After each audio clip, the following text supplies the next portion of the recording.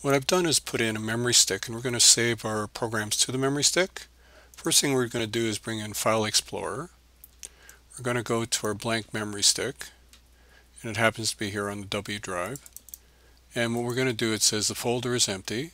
So I'm going to say right mouse click, new, folder, and I'm going to type in lab 1 and then I can double click on that and this is where we're going to store our three files for lab 1 so let's get out of here.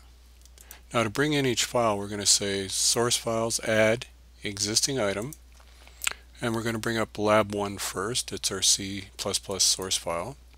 Double click. There it is.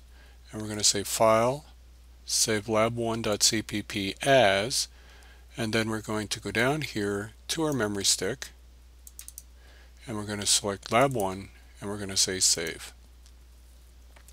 To do the next one we're just going to say right mouse click, we'll remove this one. We're going to say right mouse click, add existing item. We'll say lab 1A. We'll then double click here to bring up lab 1A. Then we're going to say file, save lab 1A as, and again we're going to go down to here to where our memory stick is, go to lab 1 and save that there.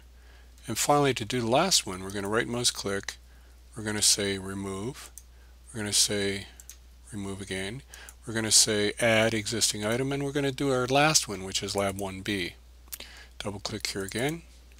We're going to say then file, save lab 1b as, go down here to our memory stick, again, go to our lab 1 and save it there. So we have all of our three files saved.